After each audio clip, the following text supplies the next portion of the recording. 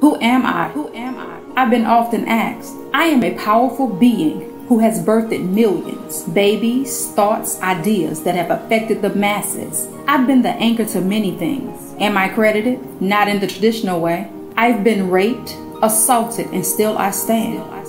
My spirit they've tried to break, but it simply wasn't theirs to take. So you ask, who am I?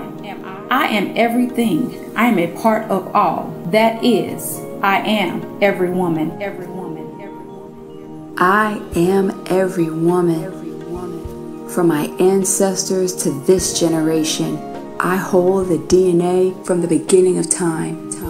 Every cell made was passed down from those women who stood strong. I am every woman that holds the key to help unlock my daughter's future, to pass down the wisdom so that she too will inherit my kingdom. I am every woman that is beautiful, not just with the eye, but the heart that eludes a golden glow that resembles the sun.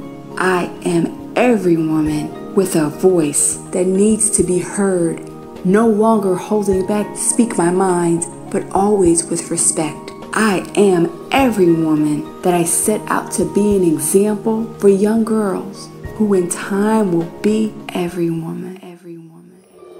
Every woman, every woman that is she. Every soul passes through me. Got them portals to the all. Multiverses, yes, that is me. My stripes do not define me, just refine me. I don't complain. There's no fake up to my makeup. Bring those toils and those chains. I am the ghetto, the ghetto.